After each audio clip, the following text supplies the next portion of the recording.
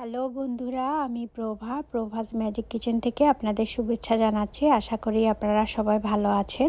আমি আজকে যেই রেসিপিটা করব, এটা খুবই অন্যরকম একটা রেসিপি নতুন রেসিপি আমি কাউকে এভাবে করতে দেখিনি আগে। এই রেসিপিটা খুবই সহজ এবং ইজি রেসিপি আপনারা ট্রাই করতে পারেন। আমি এখানে চিচিঙ্গা বিচি নিয়ে নিয়েছি। চিচিঙ্গা ভাজার পরে ভাজতে যখন নেবেন, ভিতরে বিচি থাকে, বিচিগুলোকে খুলে নিয়ে নেবেন। এটা ফেলে না দিয়ে, এই বিচিটাকে আপনারা ভর্তা করে খেতে পারেন। এখানে প্রায় এক কাপের মতো বিচি হবে। আমি এগুলোকে নিয়ে একটা ফ্রাই প্যানের মধ্যে দুই টেবিল চামচ আন্দাজ সরিষার তেল দিয়ে দিব। দিয়ে আমি বিচিগুলোকে প্রায় দুই তিন মিনিট একটু ভেজে নিব।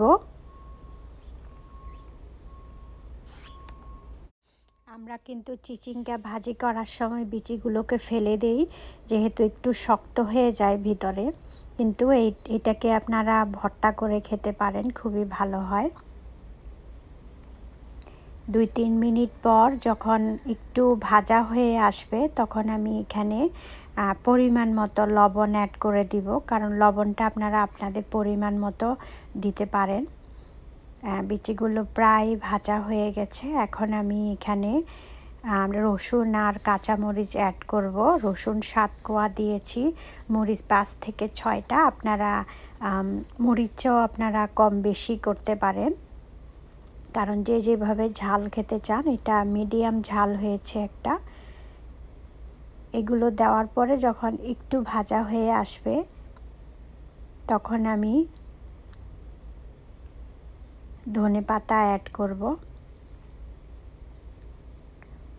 ধনে পাতাটা দিয়ে আমি সবগুলো উপকরণ খুব ভালো করে একটু লাল লাল হয়ে আসবে তখন নামাবো। আমি কিন্তু আজকের ভর্তাতে কোনো পেঁয়াজ ব্যবহার করিনি, আপনারা দেখতেই পাচ্ছেন।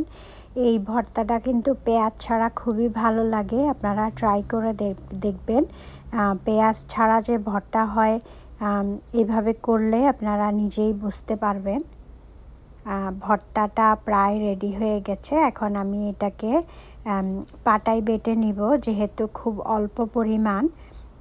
তাড়াতাড়ি হয়ে যাবে। আপনারা ব্ল্যান্ডারেও করে নিতে পারেন। ভর্তা কে না পছন্দ করে এভাবেই আপনারা খুব সহজেই ভর্তাটা করে নেবেন। এটা গরম ভাতের সাথে খুবই ভালো লাগে। আমার ভর্তাটা প্রায় রেডি হয়ে গেল।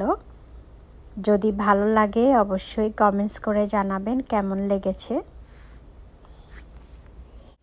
যারা এতক্ষণ আমার চ্যানেলের সঙ্গে ছিলেন, তাদেরকে অনেক অনেক ধন্যবাদ। আবারও দেখা হবে নতুন কোনো রেসিপি নিয়ে। ততদিনে ভালো থাকবেন, সুস্থ থাকবেন সবাই।